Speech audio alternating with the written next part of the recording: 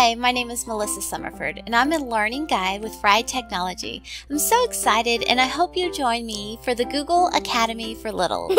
when you join these sessions, you will learn how to screencast, whether reading a book or showcasing your screen to deliver content for your students.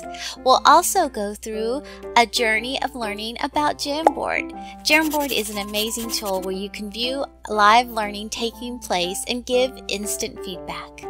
Next, we'll create a splash page.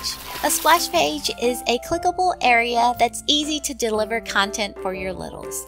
We'll put all this together in a Google site where you can deliver all of these amazing things that you'll learn throughout the Academy for your students in one space. I hope that you sign up and I'm so excited and looking forward to working with you.